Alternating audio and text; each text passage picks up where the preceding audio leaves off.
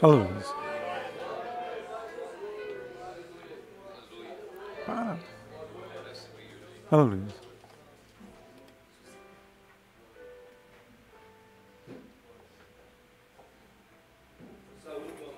I greet the beloved church with the peace of the Lord Jesus.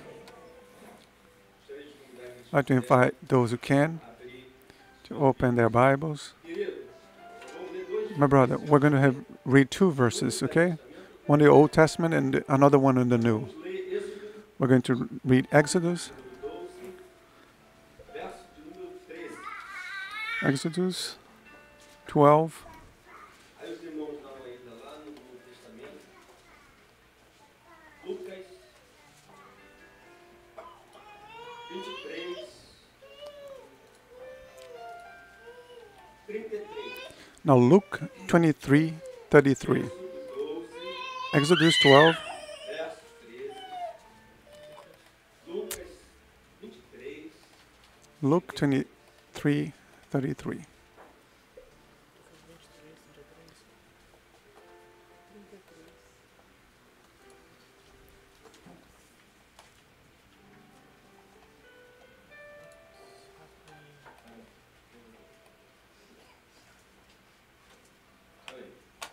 A palavra do Senhor nos diz assim: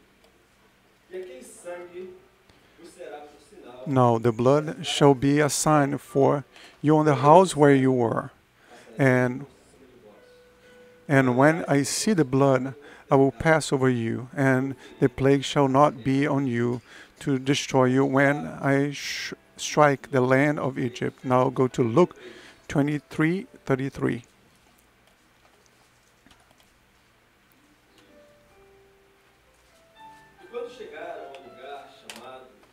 And when they had come to the place called uh, Calvary. Then they crucified him, and the criminals, one on the right and and the other on the left. Lord, we we want to plead to you once again, pleading for your help, and ask that whatever is spoken here may come from straight from the throne of your glory, and that it may penetrate into our hearts. and that man may not have a place in this place, in this pulpit, and that everything that may come from human intelligence may you may cause it to fall to the ground, and only the voice of the Holy Spirit may speak to our hearts tonight. We plead to you in the name of Jesus. Amen. The church may be seated. The praise group is going to be singing a song to the Lord.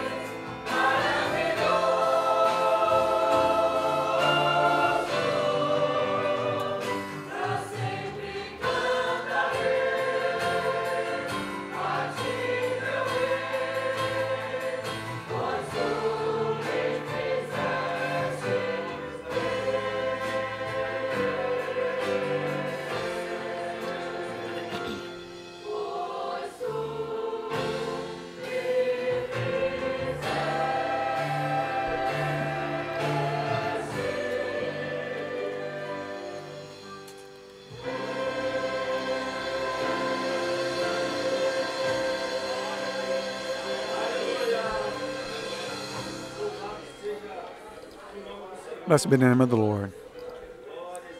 Glory to Jesus. My beloved, I'd like to ask the projection to leave the text there of Exodus. We're going to go over there a few verses so that we may understand what the Lord has for each one of us tonight. So, when I ask you, my brother, that you um, go from verse 3, then we will go forward from there. We're going to do, let me say, a parallel between from the people of Egypt and the crucifixion of Jesus.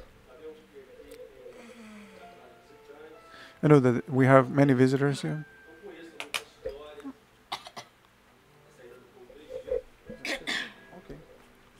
Uh, people left the Egypt, and the Lord wanted to take uh, His people from the land of Egypt.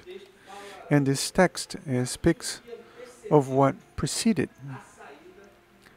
the departure of these people.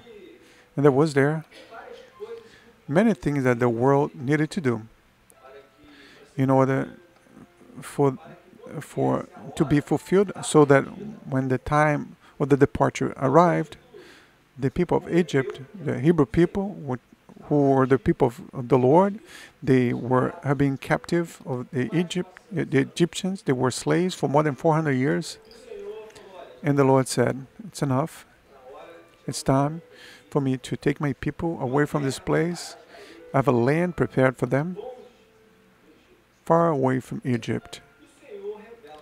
And the Lord revealed to Moses to instruct the people and to tell the people how this preparation should should be, how the preparation preparation should be for this departure. And in the New Testament, we have seen Jesus in the cross of Calvary uh, on the cross of Calvary, crucified, and a robber on his left and another robber on his right. And what does he have to do? What, what does he have? The departure of the Egyptian people from Egypt with the crucifixion of Jesus.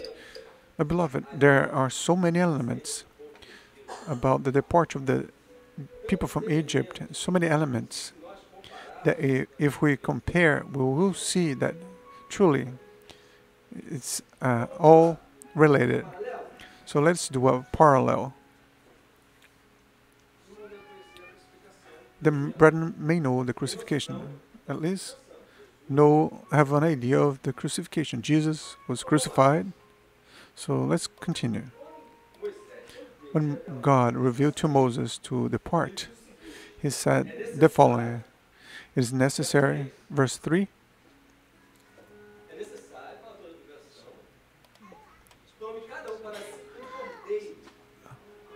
Uh, that on the 10th of his uh, month, even um, he's supposed to take a lamb. Who was the lamb on the crucifixion? Jesus. Jesus was the Lamb of God. John the Baptist said, This is the Lamb of God that takes the sin away from the world. So there was a lamb at the crucifixion. Then we're going to jump to verse 4. And he says the following And if the household is too small for the lamb, let him and his neighbor next to him house take it according to the number of the persons. This month is the month in which we're praying for our neighbors. Maybe there is a neighbor here that was invited without even knowing knowing this, but there was a price that was paid. This person that invited you, that person paid a price, prayed, fasted, and presented your life in, to the altar of the Lord because only God can uh, give man what man is seeking man can seek for peace, anywhere in the world, but man will never find. Man will only be able to find his peace beside the Lord Jesus. And this neighbor, there was a neighbor in crucifixion? There was, of course. It was the robber, actually, two robbers. And then there were neighbors of Jesus. So there was. There was a neighbor there. So then he says the following.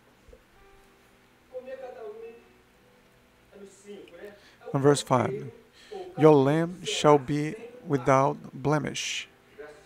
Verse 5 says,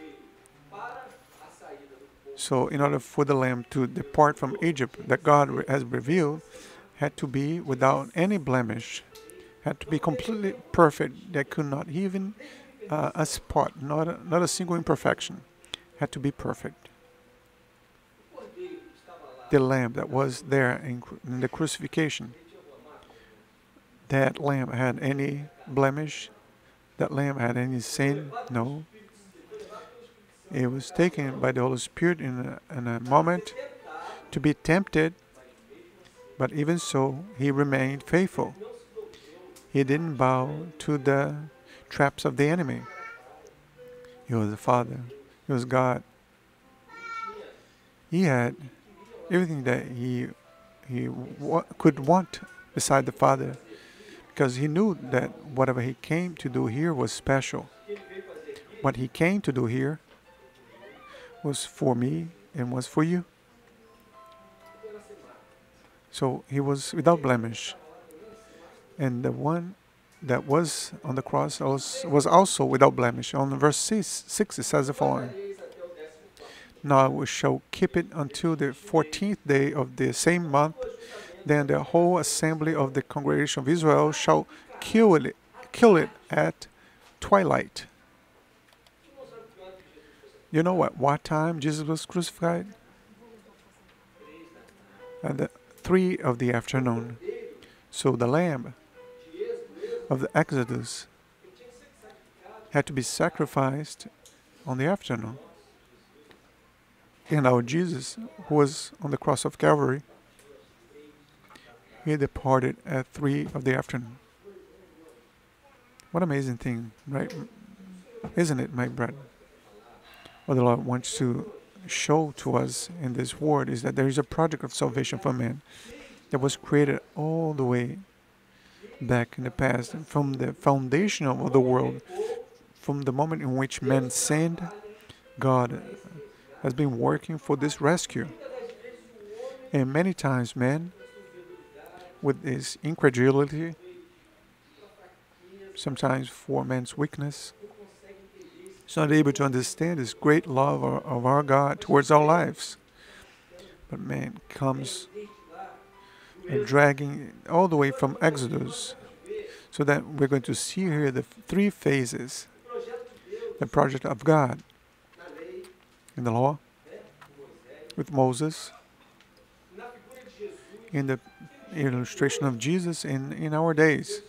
Because what God wants is that this people who is here of about 100, a little more than 100 people, when Jesus comes in the clouds, he wants to call each one by their name. He wants to say, Your name, but in a, in a special way. He's not going to call Anderson. The Bible says that we have a name It's written in the book of life. And we don't know this name. This is not our current name, but when He calls us, we will know. We will know because when we accepted Him as Jesus, as our only and sufficient Savior, He went there and wrote our name in the book of life. And He didn't write Anderson, Luciano, Kathleen, Isabelle. He wrote a different name that we know.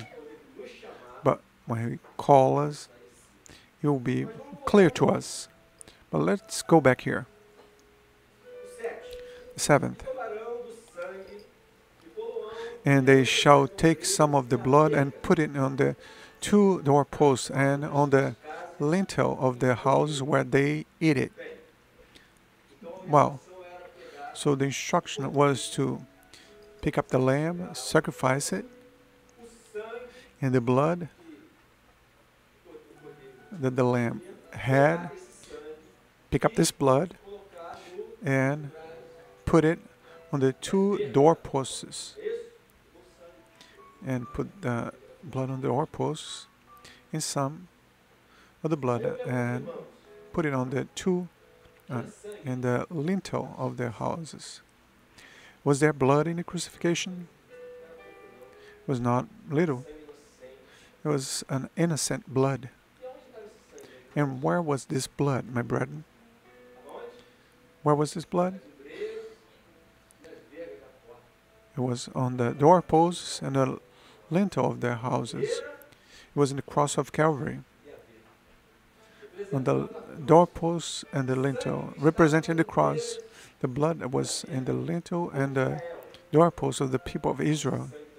This blood was also in the cross of Calvary, the innocent blood shed in favor of my life, in favor of your life. Blessed be the name of the Lord.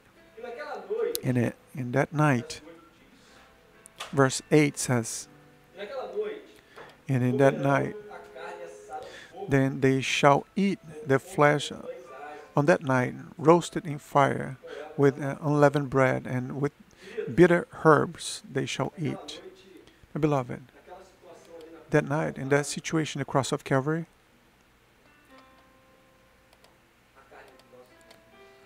the flesh of our Lord Jesus was handed out, but there was there the fire of the Holy Spirit. There was a fire of the Holy Spirit in that Jesus that was there. And with bread, what bread speaks of, it speaks of the Word. Even in that situation of cross, he was beaten up a lot. He was he suffered a lot. But what came out of the mouth of our Savior, a wonderful word to one of those robbers. Blessed be the name of the Lord. And there they had to eat the meat uh, cooked on fire and with uh, unleavened bread and bitter herbs. Why bitter herbs? The situation of them both was not sweet. The situation of these two was really bitter. you can imagine a nail on the cross and and they with without blame. And then if they filled with, with sin and many reasons to be there their souls were bitter. So then the Lord gave an instruction to Moses to speak to the people. Do not eat anything raw. So the, la- the lamb had to be cooked on fire they could not eat anything that was raw or cooked on water but cooked on fire. So the Hebrew people had to follow this instruction from the Lord. The lamb had to be cooked on fire, could not have been eaten raw. They had to eat the head, the feet, and all the entrails, and would leave nothing to the morning. Beloved, the instruction was to eat it, cooked on fire. Why? What does it have to do with the crucifixion?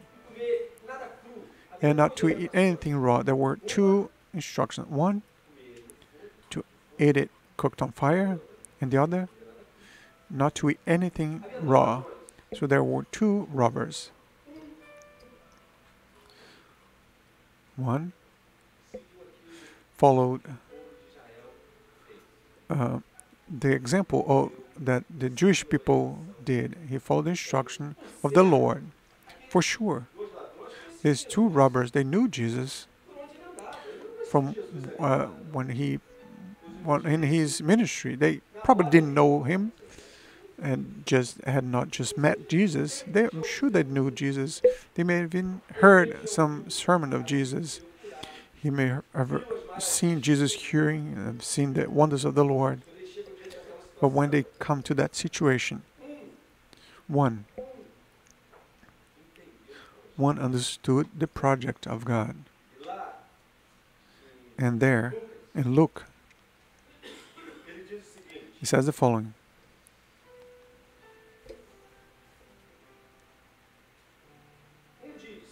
One says, If you are the Christ, save yourself and us. So what did he do, my brethren? He he ate the the meat raw because he didn't understand the project of, the, of God, because he wanted the deliverance for this life. He said, "Look, if you are the Son of God, deliver us from here, take us away from the situation, put us back on the street, deliver us from this condemnation." But the other that ate the meat cooked on fire, that understood the project of God, the other uh, uh, reproached, saying,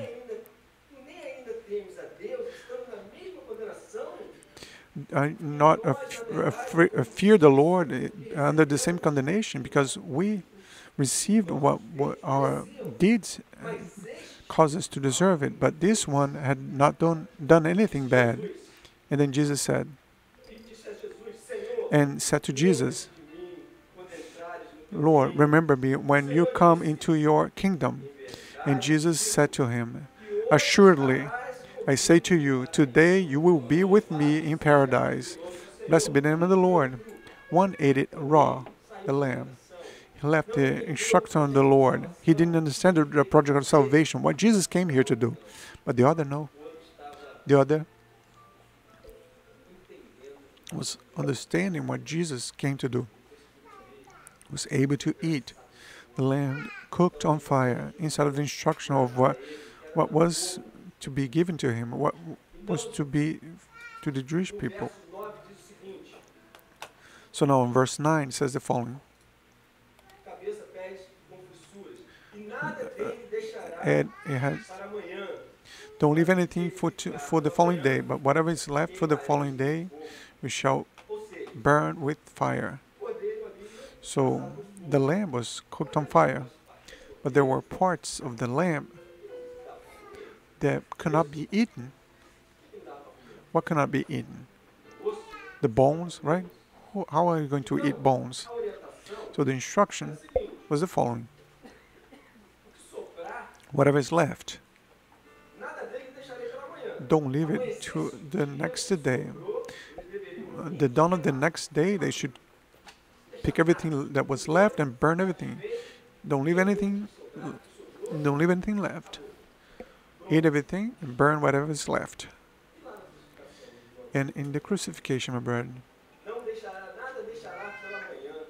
you shall, shall not leave anything to the morning. Have you thought, my brethren, if they let if the, one waited to repent on the following day, you think that Jesus was going to have mercy on him and would say, "Hey,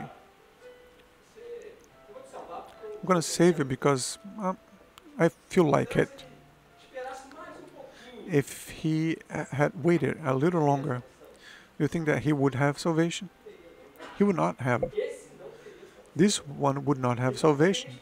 He could not have waited. Uh, The, the time was, was that time. Jesus was going to depart in a, in a few minutes. If Jesus dies and that man does not burn on the fire, what did he burn in, in on fire? His own sin. He said to the Lord, Lord. We are here because we deserve it. This one has done nothing wrong. So he presented to the Lord his own sin. And he said, Lord, have mercy on me. I'm here because I know that I did evil. evil. A robber. I w- robbed. Lord, have mercy on me.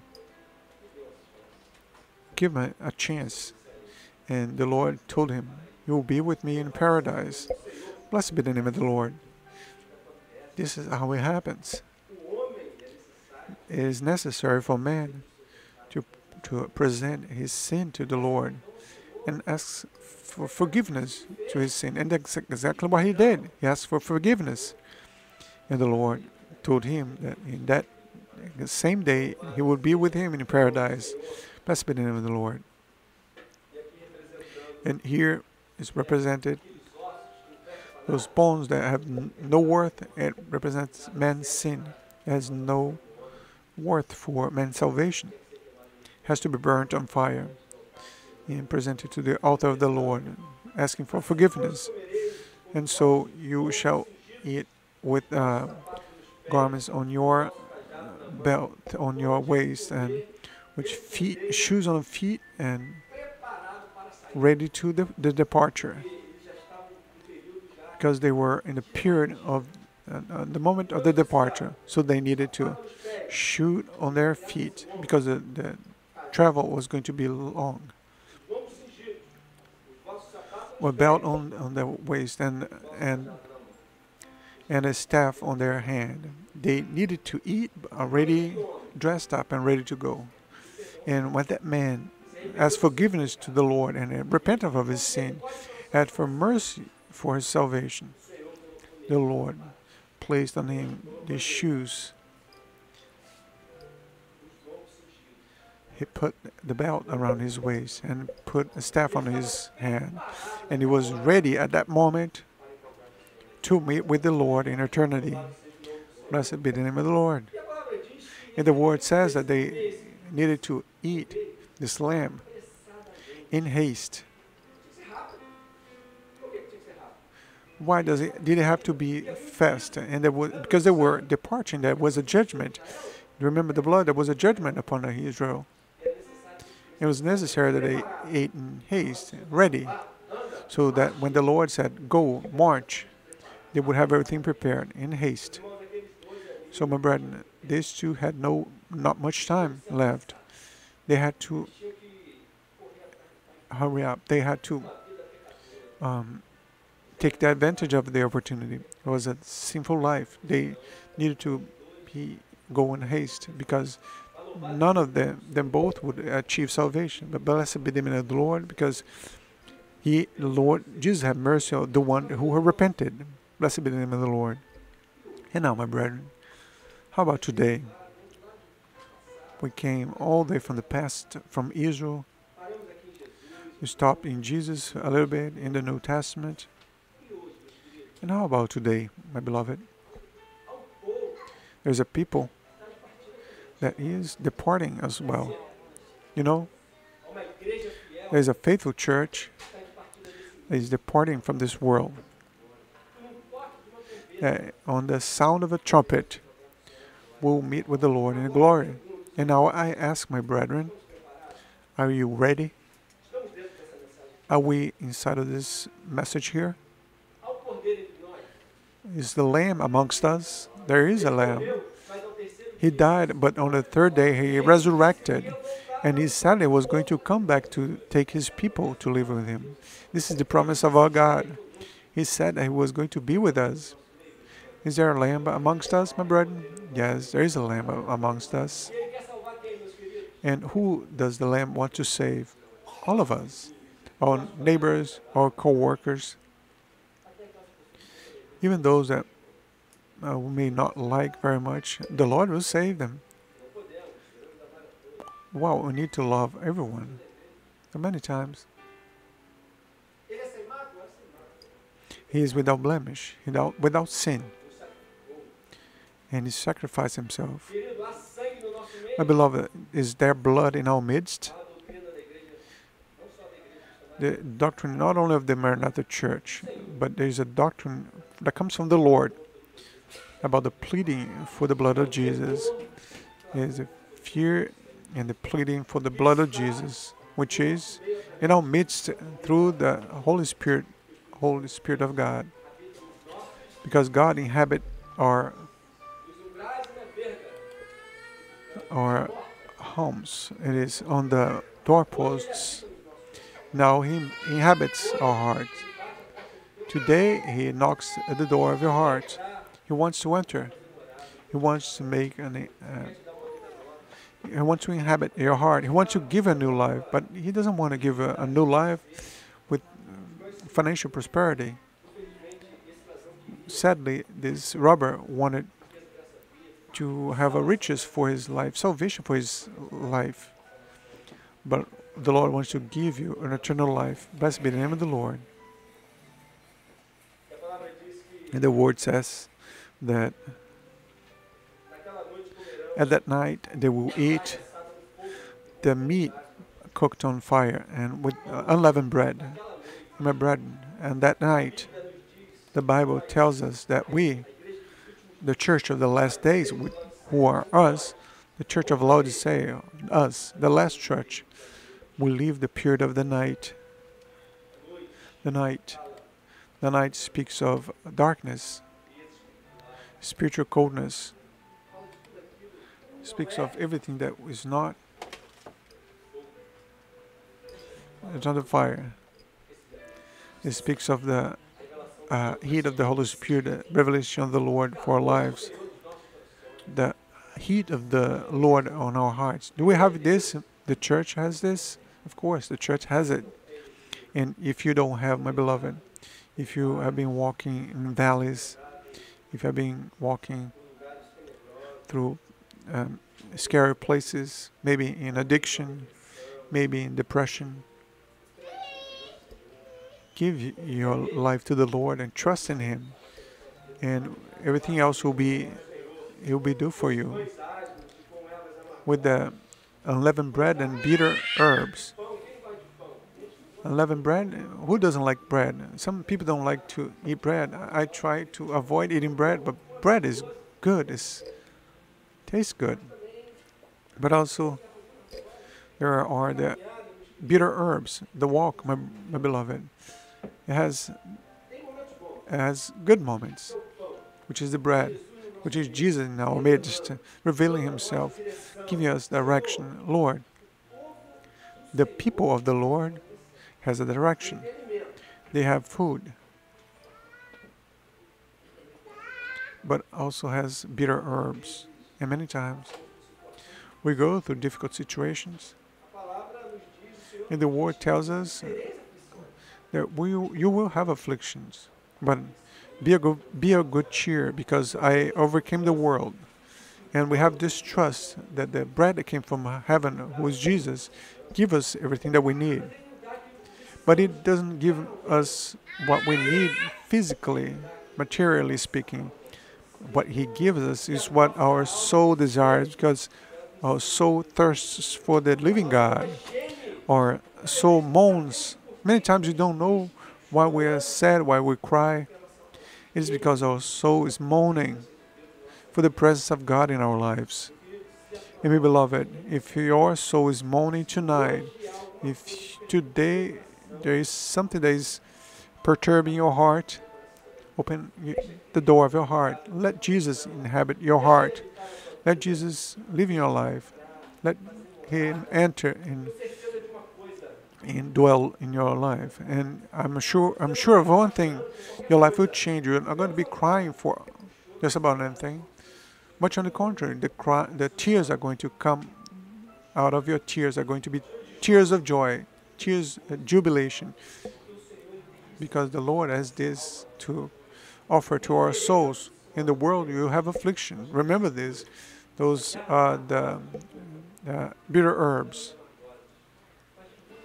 But many times, it's necessary to go through them so that we may have a, a spiritual growth, so that it may be a moment of definition in our, in our, lives. And the word continues saying that we should, shall not eat anything raw. Out there, there are many things that we're not even going to mention. We all know the word only on letter, just asking for money, trying to usurp the faithful and uh, confuse the faithful. But blessed be the name of the Lord that we have cooked the lamb on fire. We have the bread of life. We have a revealed word to man's heart. Jesus is coming. Jesus will come soon. He promised that he's going to return and he will return. And many times we may think that is uh, it is a utopia, fairy tale. What people usually say. But there is one thing that is true. The moment in which we are living is a time called soon. And Jesus at the doors. And he is going to call his church, Maranatha, come Lord Jesus. Blessed be the name of the Lord. In our midst, uh, there is the lamb uh, that was cooked on fire and shall not leave anything for to the next day. Don't leave, my beloved, anything to the next day. You who entered here and I don't have assurance of a salvation, don't leave it for tomorrow what you can do tonight. Accept Jesus, our only and sufficient Savior.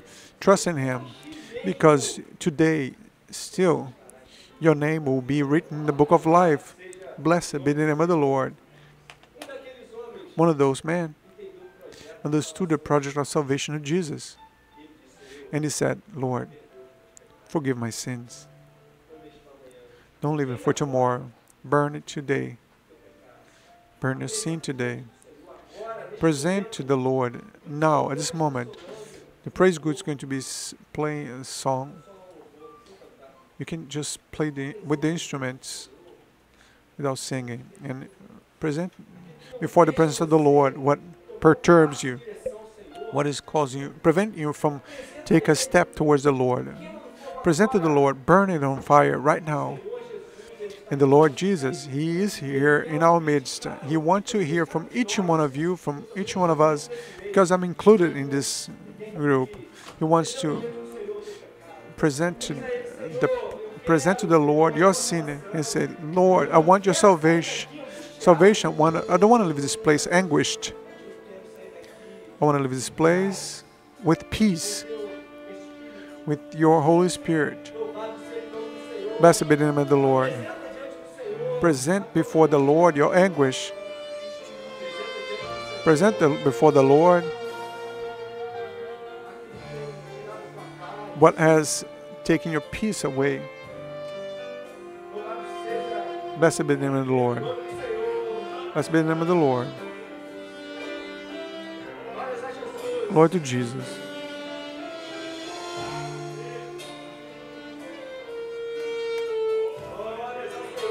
Glory to the Lord.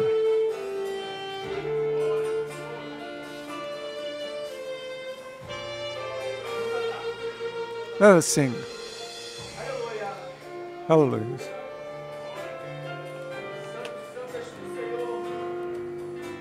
Holy is your name, Lord. Place before the Lord your supplication. Place before the Lord your sin. Don't leave it for tomorrow. Make this choice today. Glory to the Lord.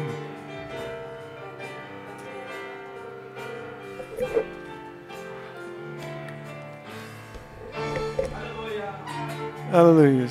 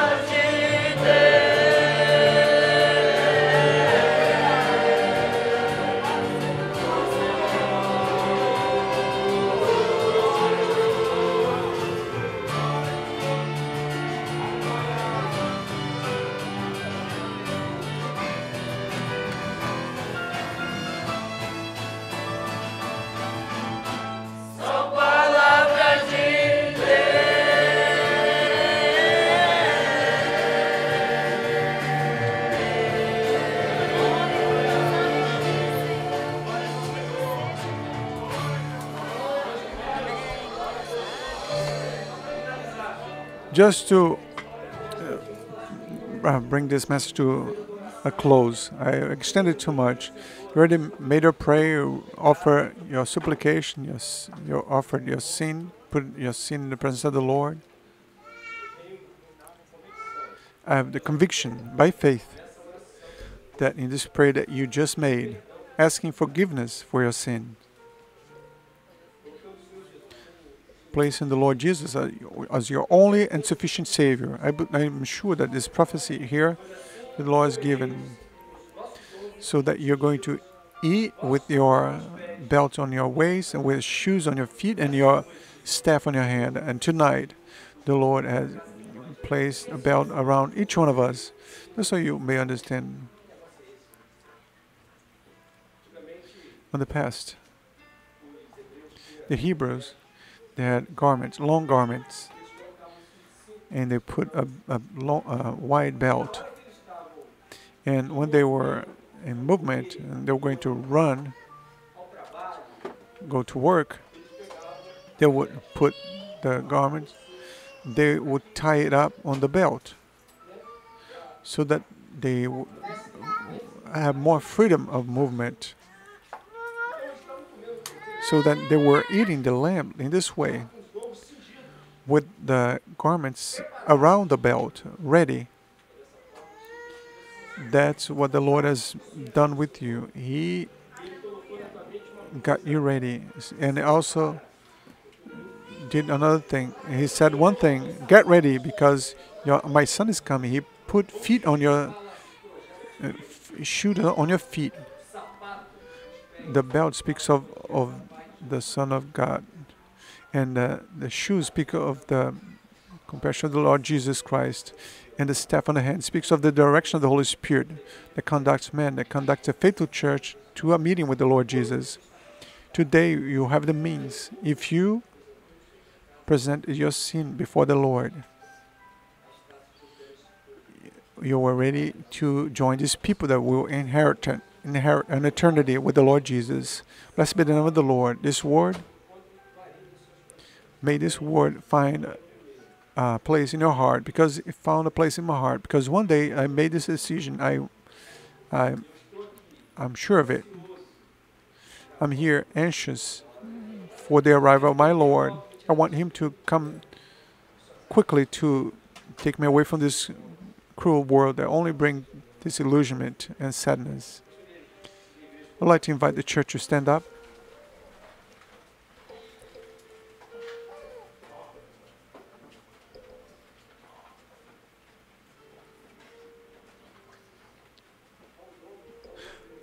Uh, there's a spiritual gift, right? I'm sorry, my brother. There's a spiritual gift that needed to be shared. There's a woman, and when she came, she came wearing a wonderful crown of precious stones, and she said with herself, Wait a minute, I saw a woman. Oh, I understand. This woman came here and she saw the church wearing a wonderful crown of precious stones, and she said with herself, I would like to have one like that. But I imagine that I I can imagine. I'm wondering how much would that crown cost. But at the end of the service, it was offered to her this crown freely. Blessed be the name of the Lord. So that the ones who give worth to the sacrifice of the Lamb of God, this crown that was given to each one of us, there. Surely you came here, you don't know what it is. It's the crown of salvation that church that the church has. It has no worth. You know why? Because it was already paid for the faithful church in the cross of Calvary, so that it's given to us uh, freely. Amen. The precious cost that we don't have to pay anything. We praise the Lord this tonight because once again we can glorify your holy name for everything you have uh, made for us. In your name we say, the grace of the Lord Jesus Christ, the love of our eternal Father, and the sweet consolation of the Holy Spirit be resting upon the people of God now and forevermore. Amen. Beloved, the church may be seated. We've come to an end of another service of glorification to the Lord. I'd like to invite the brethren to come back once again on the service of doctrine on Tuesday at 8 o'clock at night. On Thursday, we have also our service of uh, adoration. We have early dawns on 6.30 in the morning, 6 o'clock in the morning on Saturday, 7.30 p.m., another service of glorification. And on Sunday at 10.30, we have Sunday's Sunday school where we learn a lot. Very enriching. Where we have been studying the book of Revelations. While others are scared of the book of Revelations, the, the faithful church rejoices because it's coming the, the moment of the arrival of the Lord Jesus. Uh, Revelation does not scare the faithful church, only brings joy to us. And also Sunday night at 7.30.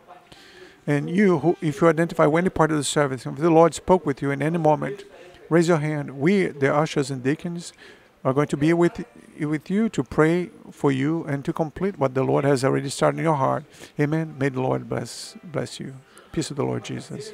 On Wednesday, we have a meeting with the women on Wednesday at 8 o'clock at night.